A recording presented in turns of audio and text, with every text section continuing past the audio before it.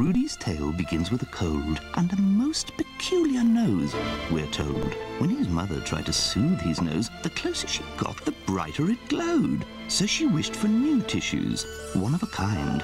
Then appeared Puffs Plus, a miraculous find. Enchanted pillows kissed with lotion, such a soothing magical potion. And as Rudy felt better, his nose was pleased. The moral?